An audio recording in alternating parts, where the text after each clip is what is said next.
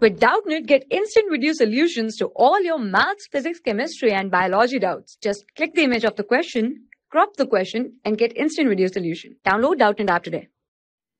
Our question is if two fair dice are tossed, what is the probability that the two numbers that turn up are consecutive integers?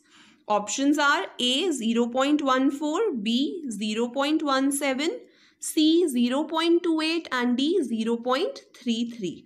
So our solution will be first we will make the sample space that is which all entries are favorable.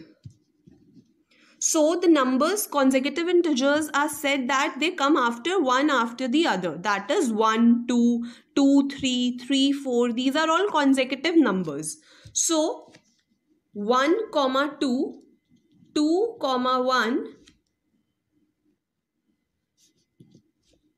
2 comma 3 3 comma 2 3 comma 4 4 comma 3 5 comma 6 6 comma 5 4 comma 5 and 5 comma 4 these are all the favorable entries that we will get when the two dice are tossed and we'll get consecutive integers.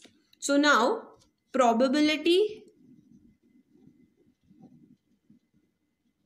is equal to favorable outcomes upon total outcomes. So, favorable outcomes are 1, 2, 3, 4, 5, 6, 7, 8, 9 and 10. So, 10 upon and total outcomes will be 36. That is if two dice are rolled and each dice have 6 numbers. So, we have total outcomes as 36.